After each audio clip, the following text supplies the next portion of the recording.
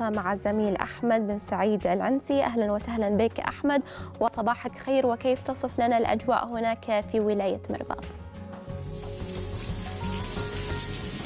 صباح الخير أختي العزيزة ويسعد صباح كل من تابع تلفزيون صدى عمان طبعا نحن حاليا متواجدين في ولاية مرباط طبعا أمام مدخل الولاية. الامطار هنا في الولاية منذ الساعات الأولى هذا الصباح يعني كانت غزيرة إلى غزيرة جدا حقيقة هنا في الولاية وكذلك الحال أيضا بالنسبة لمنطقة السهل وأيضا الخياطيه التابعه اداريا لولاية برباط حيث أنه تراوح الامطار ما بين المتوسطة والغزيرة في الجبل. طبعا نتيجة ارتفاع منسوب المياه وكذلك يعني نتيجة لهذه الحالة الجوية. هناك بعض الأضرار التي يعني رصدت هنا في الولاية منها انقطاع الحركة بعض أجزاء من الطريق المؤدي من مرباط إلى طاقة نتيجة لارتفاع منسوب المياه أيضا وتراكم الأحجار على جانبي الطريق وكذلك تم إغلاق أيضا عقبة التحشير. احترازيا طبعا الطريق المؤدي إلى نيابه وقوع عقير نتيجة لتساقط أيضا الأحجار والصخور في مثل هكذا ظروف جويه. هناك أيضا وردنا قبل قليل أيضا انقطاع للخط الأساسي الرئيسي الذي يغذي الولاية في المياه نتيجة تواجده في منطقة منخفضة في الأودية. طبعا في حال ارتفاع أيضا كميات وهطول يعني الامطار بكميات كبيرة تؤدي إلى أضرار مثل هذه الأضرار. وإن شاء الله ستكون هناك أيضا فرق الاسناد والطوارئ ستقوم في بإذن الله الساعات القادمة باصلاحات الخلل.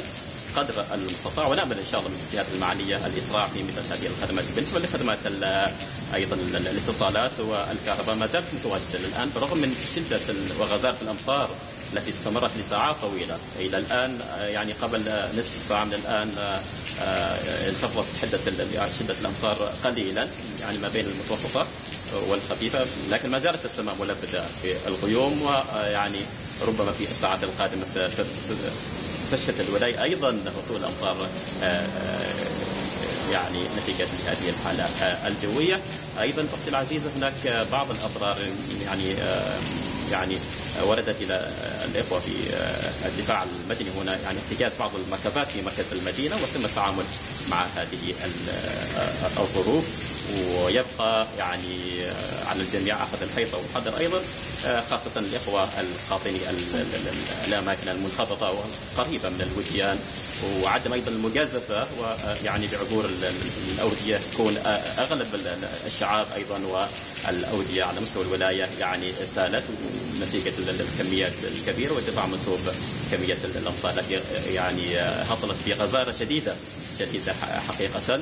وإن شاء الله أيضا كذلك التنويه أيضا من قبل الإخوة مرتادي البحر عدم نزول البحر يعني خلال هذه الظروف طبعا نتيجة هيجان. البحر وارتفاع منسوب اي كمية ارتفاع الموج أيضا. ونأمل من الجميع الحيطه والحذر أيضا وأيضا متابعة النشرات الإعلامية التي ترد من الإخوة وكذلك متابعة نشرات الأرصاد الجوية.